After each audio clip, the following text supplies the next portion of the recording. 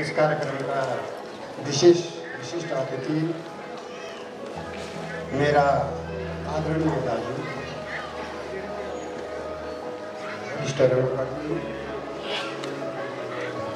गुरु प्रचण्ड मल्लज्यू परिवर्तन नेपालका अध्यक्षज्यू आजको यस कार्यक्रमका संयोजकज्यू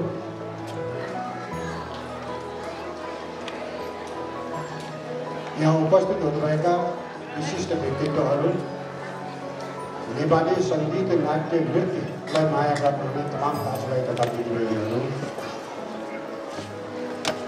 सबैमा अभिवादन नमस्कार। विषय पनि सम्मान पुरस्कार जस्ता शब्दहरूले पुराना कपाल सेतै पुगेका सकेसम्म अलिअलि उब्रो परेका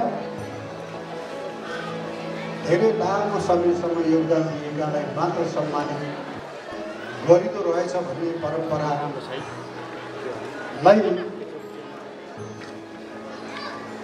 एक ठाउँमा थाँती राखेर नव प्रतिभाहरू अथवा युवा जनशक्तिहरू युवा प्रतिभाहरू जसले निरन्तर रूपमा दस पन्ध्र वर्षदेखि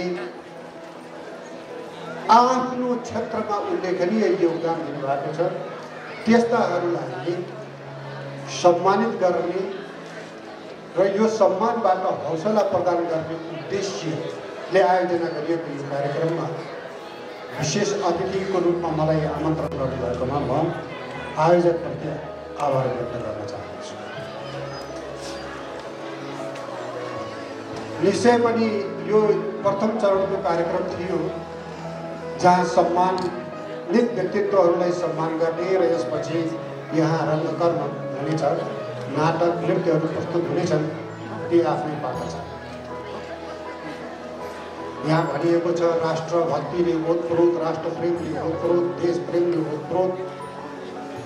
र साहित्य कला सङ्गीत राष्ट्र र राष्ट्रियताका लागि राष्ट्र उत्थानका लागि राष्ट्र निर्माणको लागि राष्ट्रिय विकासका लागि.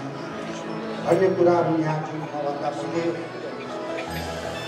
यहाँ भनिएका छन् निश्चय पनि यसमा कसैको दुई मात्र असहमति प्रश्नै हो मैले देखिरहेको छु परिवर्तन नेपाललाई मैले लामो समयदेखि आत्मसात गरिरहेको छु। यसले निश्चय पनि नेपाली सा नेपाली सङ्गीत र पर्फर्म आर्ट्सको क्षेत्रमा निकै सराहनीय काम गर्दै आएको छ र यो एउटा त्यो कडी हो त्यसैको कडी हो त्यसैको निरन्तरता हो परिवर्तन नेपाल श्रेष्ठ लगायत सम्पूर्ण साथीहरूले आयोजकहरूले हामीलाई मौका दिनुभयो। यो सम्मान अर्पण गर्ने तपाईँहरूले यो सम्मान सम्मान अर्पण गर्ने कार्यक्रममा मौका दिएर उहाँहरूलाई मात्रै सम्मान गरेनौँ हामी आफै पनि सम्मानित भएको महसुस गरेका छौँ। आदरणीय मेरा श्रद्धेय दाजु प्रचण्ड मल्लज्यूको अनुमति दिएर मैले यी दुई शब्द बोल्ने मौका दिनुभएकोमा पनि आभार व्यक्त गर्दछु। तपाईँहरूको कार्यक्रम तपाईँहरूको भविष्य उज्जवल रहोस् यो कार्यक्रम सफल रहोस्।